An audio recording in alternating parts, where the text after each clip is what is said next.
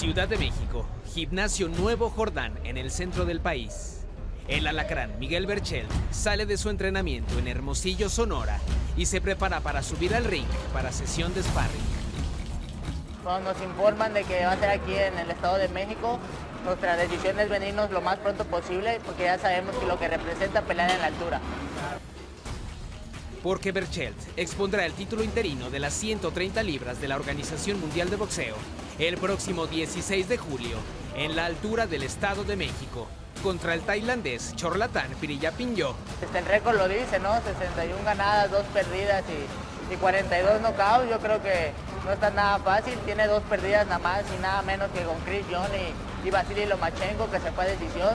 Yo creo que ese es mi parámetro, ¿no? Ese es mi termómetro para, para salir a buscar lo mío, para saber dónde estoy parado en la división de los 130 libras. Y por eso la sesión de sparring es demoledora. Brutal. Ocho rounds completos, con el clasificado mundial capitalino Dante Crazy Jardón.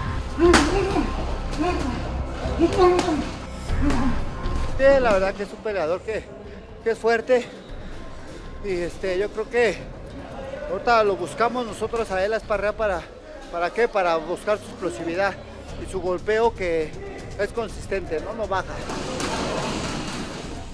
Berchel contra Pirilla Pinjo, México contra Tailandia, en la casa del boxeo.